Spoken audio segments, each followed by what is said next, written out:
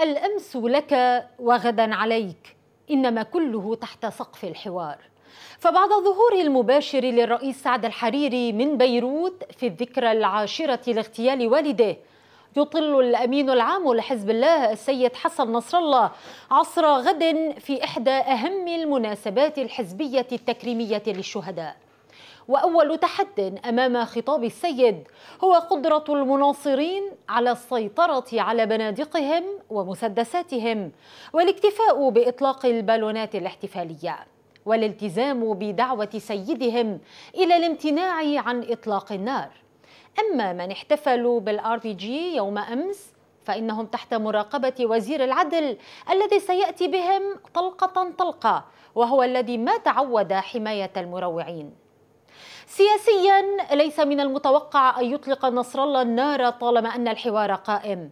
فهو يدرك أن عنوان خطاب سعد الحريري هو التمسك بحبل التلاقي. أما بقية العناوين الهجومية على الحزب التي أطلقها زعيم تيار المستقبل فهي لزوم الجمهور واستدراج التصفيق.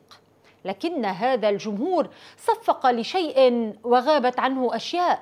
فلم يمتلك الحريري القدرة على مكاشفة الرأي العام في حقيقة الأموال التي كانت تقدم كرشوة لمسؤولين سوريين والمستغرب أن يكون المرتشي أكثر جرأة في تصحيح الأرقام. إذ أوضح لواء الركن رستم غزالي أن عبد اللطيف الشماع أورد مبالغ مغلوطة أمام المحكمة الدولية وأنه كان يتقاضى 300 ألف دولار شهريا وليس 50 ألفا.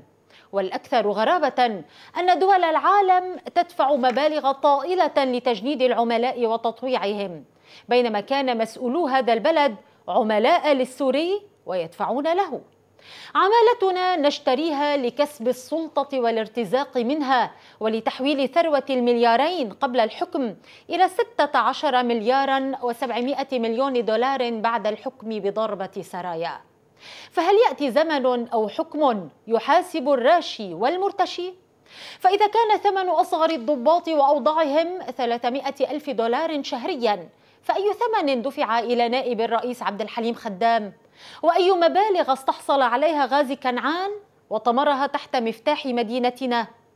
أموالنا الموزعة رشا على الموبقات السورية تستحق محكمة تدقيق لتنفيذ زمن رفيق الحريري الذي كان قائما على دفع البلاء إلى البقاء وإلى زمن الشهداء حيث تعود الجديد إلى ليلة الثامن عشر من شباط فبراير عام 2008 وتدخل شقة الشهيد عماد مغنية في دمشق والمباني المحيطة التي منها خطط ونفذ الموساد عملية الاغتيال. ورواية الجديد تناقض ما نشرته صحيفة الواشنطن بوست مؤخرا. تصوير للمرة الأولى في أمكنة ظلت سرية كساكنها رمز الصمت والرجل اللغز.